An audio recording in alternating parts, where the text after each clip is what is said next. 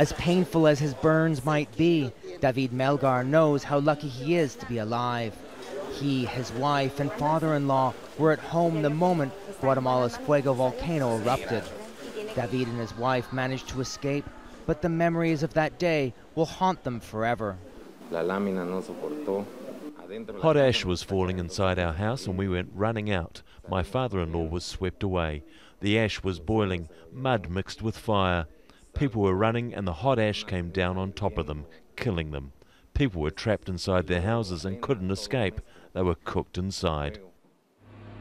Six children with severe burns were airlifted to the United States, where a pediatric burn center offers state of the art treatment not available in Guatemala.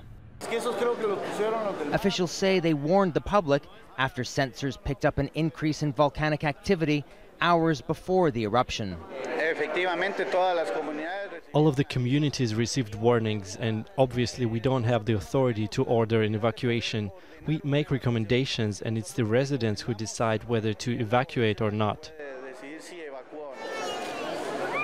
But residents who escaped the gases and volcanic mud said that only those close to the highway heard the warning.